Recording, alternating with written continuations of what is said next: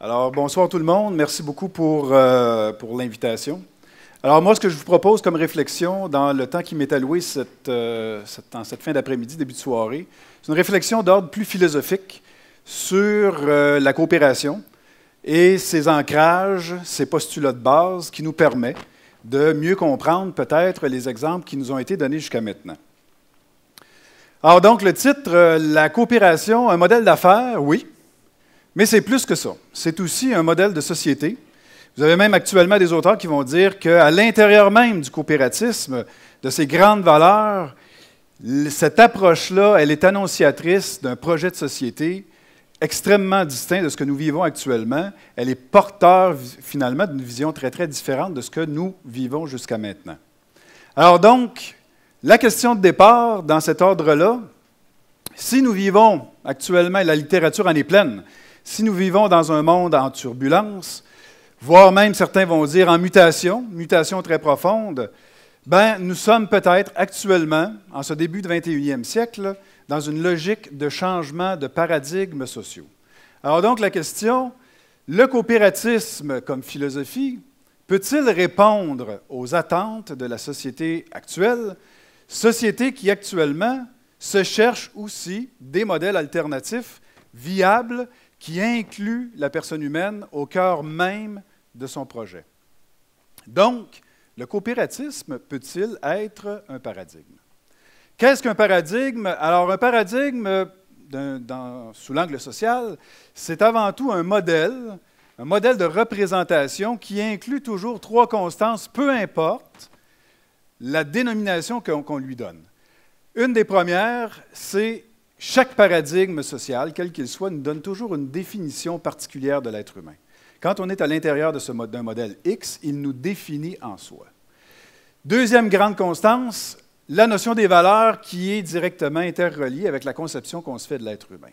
Tout modèle, quel qu'il soit, vont valoriser des actions que d'autres ne valoriseront pas. Alors si, ici au Québec, en 2013, on regarde la société du Québec il y a un siècle, il y a des choses aujourd'hui qu'on valorise qu'on ne valorisait pas à cette époque-là.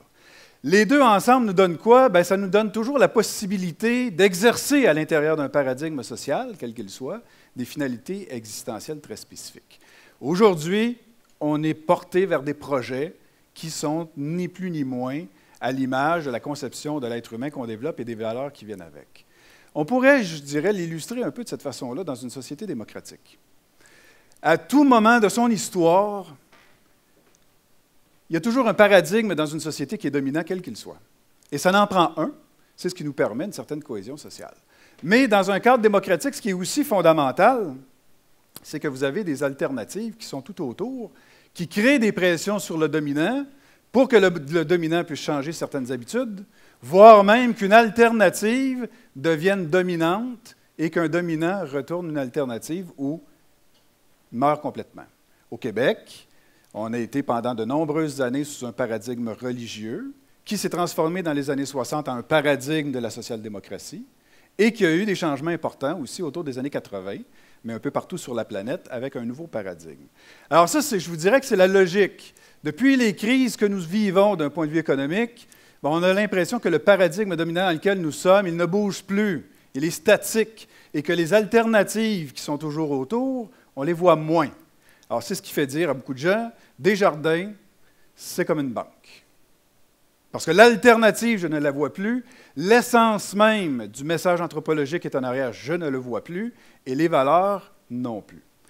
Le pire, c'est celui-là, évidemment.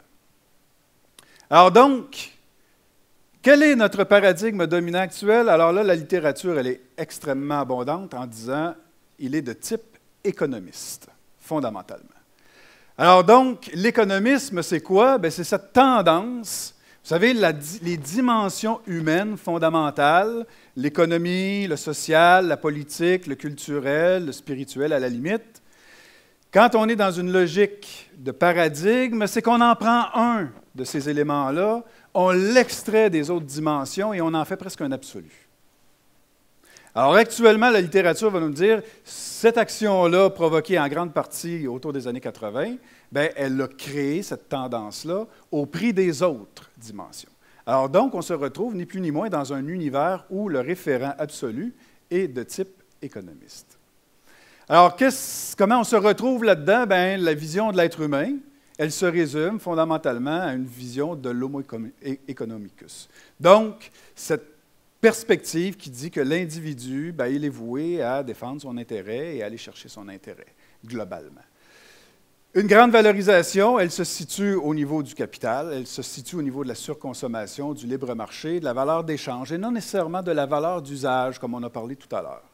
C'est aussi une dimension qui, qui, nous fait miroiter des finalités avec lesquelles aujourd'hui on trouve tranquillement que c'est peut-être irréaliste, et ça crée un développement qui est marqué par l'inégalité et par aussi des problèmes importants qui sont décriés par des Joseph Stiglitz de ce monde, euh, je vous invite à lire son dernier livre. Et là, aujourd'hui, on a su qu'il y avait aussi un livre de Krugman qui va aussi un peu dans ces perspectives-là, où on dénonce, je dirais, les postulats essentiels qui déterminent nos vies actuellement. Alors donc, si on est dans ce contexte-là aujourd'hui, et en même temps, comme nous l'a démontré l'année internationale des coopératives en 2012, on a besoin d'alternatives, un peu comme on, l'a dit à la conférence euh, précédente.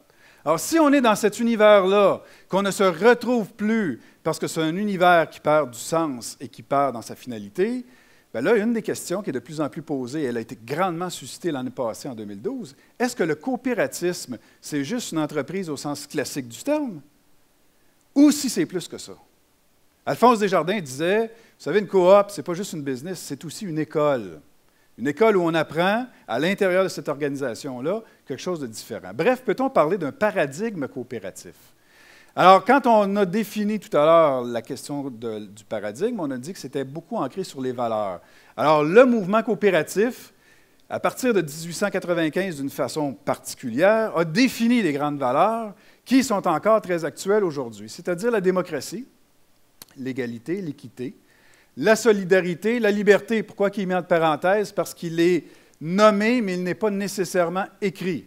Et finalement, euh, la responsabilisation personnelle et individuelle. Vous avez donc dans ce cadre-là, ni plus ni moins, les grandes valeurs de la coopération qui sont promulguées partout sur la planète avec l'ACI, l'Alliance coopérative internationale. D'où viennent ces grandes valeurs-là qu'on nomme d'une façon tout à fait particulière? Ben, on peut dire qu'elles viennent probablement du cœur de l'humanité elle-même. Les grandes valeurs d'humanité, les grandes valeurs humanistes, elles s'inscrivent un peu dans la nature humaine. Mais au 18e siècle, d'une façon toute particulière, vous avez des gens qui ont réfléchi à un tout autre modèle de société parce que le bordel était pris, ni plus ni moins, euh, en Europe à cette époque-là. Alors donc, en France, en Angleterre et dans l'Allemagne actuelle, vous avez des philosophes au 18e siècle qui ont réfléchi sur un autre modèle de société parce que le, modèle avec lequel on conjuguait à l'époque créait des problèmes importants. Alors évidemment, vous avez là-dedans des philosophes qu'on reconnaît les noms. Ici, j'attire votre attention. Pourquoi je vous parle du 18e siècle dans cette zone-là d'une façon particulière? C'est parce qu'aujourd'hui, dans la littérature, vous avez de plus en plus de chercheurs qui commencent à faire le lien suivant et qui disent ceci. Ce qui se passait au 18e siècle dans cette partie de l'Europe, aujourd'hui, on est en train de découvrir qu'il se passe à peu près la même chose, mais partout sur la planète. Alors donc, le printemps des nations de l'époque a encore sa pertinence. Pourquoi? Parce que c'était à l'époque un monde en grande turbulence politique, un monde en grande turbulence économique, avec entre autres les grandes révolutions de l'époque, et on en vit aussi aujourd'hui d'une façon particulière, turbulence sociale et ces grandes inégalités qu'on dénonçait, et finalement, ben, un besoin de renouveau fondamental et très, très, très euh, profond. Pourquoi? Parce que le modèle, c'était ni plus ni moins celui-là, à l'époque. Et ce modèle-là, ben, il fallait le changer, il fallait le dénoncer. Et avec ce modèle-là, évidemment, ben, venait sa vulgate, venait sa logique. Alors, qu'est-ce que ces philosophes-là au 18e siècle ont provoqué d'une façon tout à, fait tout à fait particulière? C'est un basculement et un changement de paradigme tout à fait inédit, où la populace sans mots s'est retrouvée en haut comme citoyen. On a développé, ni plus ni moins, un univers démocratique par une révolution plaçant l'humanité en haut dans une perspective de décision, de participation, de représentation. Alors donc, les citoyens se sont donnés, par participation et par représentation, des, gens qui leur permettaient de, ni plus ni moins, former des assemblées politiques, des assemblées économiques, des constitutions, des lois et des conseils, redevables à la citoyenneté elle-même.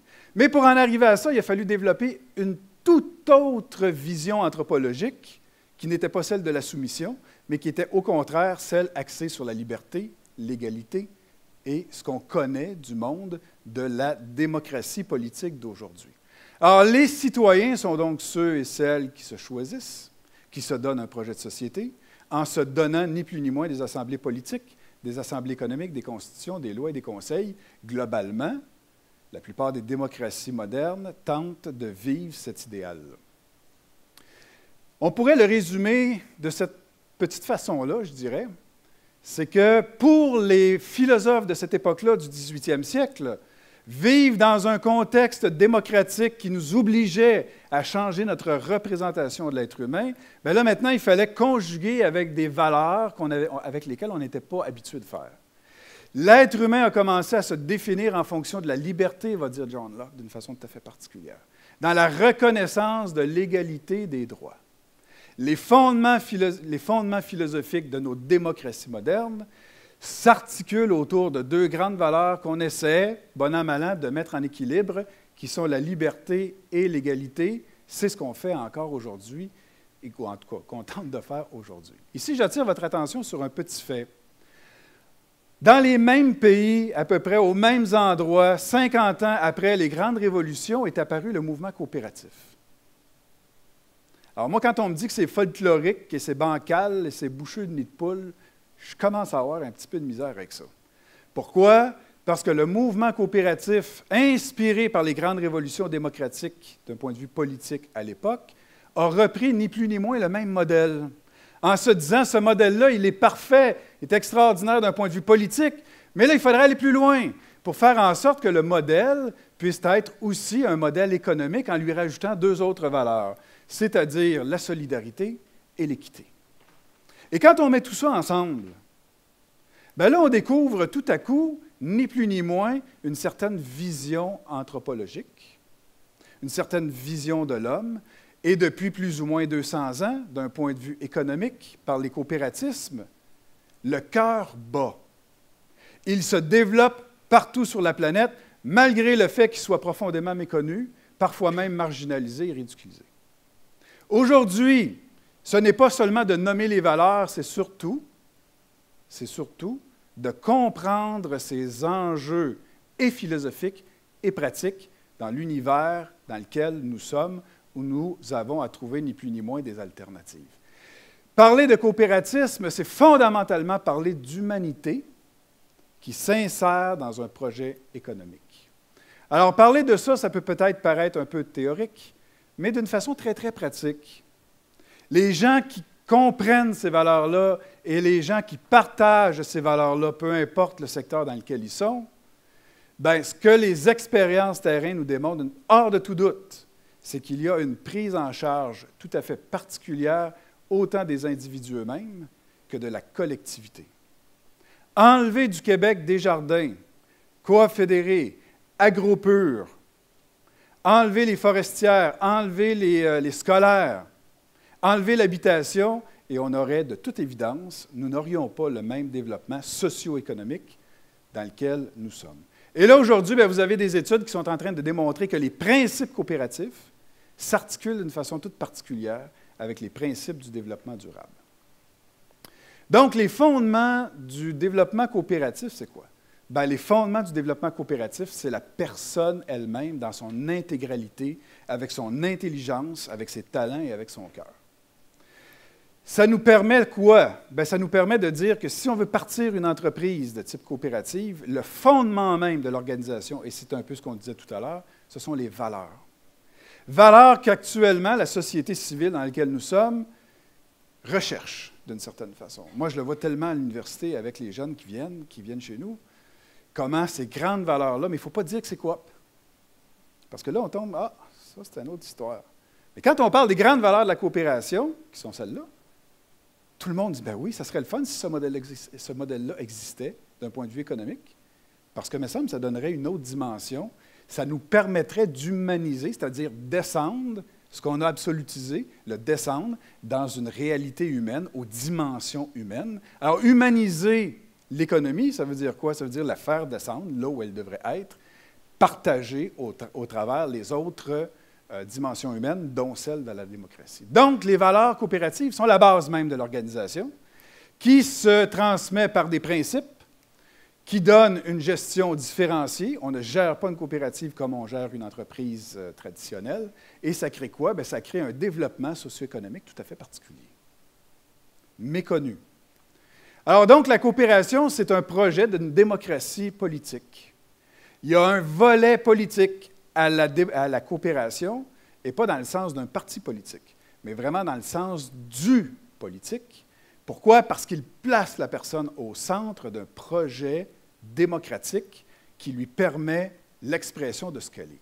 C'est aussi une démocratie économique, une des rares et la plus, la plus puissante sur la planète. On disait d'entrée de jeu tout à l'heure, si toutes les coopératives de la planète étaient réunies ensemble, ça serait la plus grande démocratie mondiale et ça serait le plus grand système d'éducation mondial, considéré comme la neuvième puissance économique mondiale également. Alors donc, le projet coopératif, c'est un projet qui touche autant la démocratie politique que la démocratie économique, plaçant au centre la personne humaine. Parler de coopération, et on l'a dit un petit peu tout à l'heure, un peu à mot couvert, moi je vous le dis d'une façon très, très, très, très ouverte, c'est une petite révolution en soi, même encore aujourd'hui. Pourquoi? Parce que le modèle avec lequel on conjugue dans sa philosophie fondamentale, dans son paradigme fondamental, c'est un peu ce modèle-là, dont la finalité est le capital pour le capital et dont la personne, elle est ni plus ni moins un peu le moyen de cette logique-là. Et c'est pour ça que les gens ne s'y retrouvent plus d'une façon euh, toute particulière. Le paradigme de la coopération, c'est qu'il reprend exactement les mêmes données, mais il les inverse. Dans, une logique de construction de personnes et de construction de communautés, voilà la finalité du projet coopératif, dont le moyen, parce que c'est une entreprise, ben, c'est celui d'avoir des finances qui se tiennent et c'est celui aussi de pouvoir le gérer d'une façon toute particulière. Donc, parler de coopération, c'est parler d'humanité. Les coopérateurs et les coopératrices, fondamentalement, ce sont des bâtisseurs de communautés, d'une façon extrêmement concrète, dans leur territoire, avec l'objet qui est ni plus ni moins le leur. Donc, ainsi, comme coopératrice et comme coopérateur, aujourd'hui encore, nous sommes des héritiers du système et le Québec est un des systèmes les mieux organisés d'un point de vue coopératif. Mais nous avons aussi à être des acteurs, des acteurs de, de changement, des acteurs de sens, des acteurs qui vont nous permettre, ni plus ni moins, de découvrir qu'il est possible, d'une façon tout à fait particulière, de présenter un autre modèle de société au travers un modèle ni plus ni moins économique. Alors donc, je vous laisse en conclusion avec cette petite phrase. Dans un monde en turbulence, voire en mutation, la coopération est donc un paradigme, ce n'est pas seulement une entreprise, c'est un paradigme de grande actualité, ayant un ancrage philosophique solide pour aider à construire l'avenir économique, social, politique et culturel des personnes, au sein des communautés très locales, mais maintenant aussi d'un point de vue international. Je vous remercie.